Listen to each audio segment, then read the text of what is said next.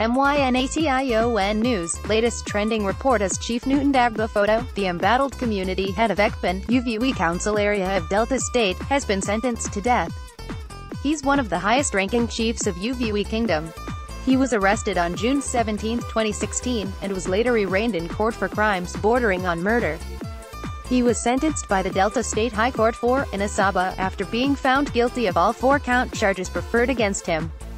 He was sentenced to death by hanging. Charges preferred against him were conspiracy to commit murder, the substantial offense of murder, conspiracy to commit attempted murder and an attempted murder. According to reports, he was alleged to have been linked to series of ings within Ekpan and its environs, including the murder of one Edegbiak Pesa sometime in October 2012.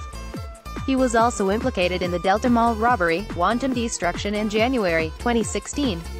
MYNATION News Readers Comments Comments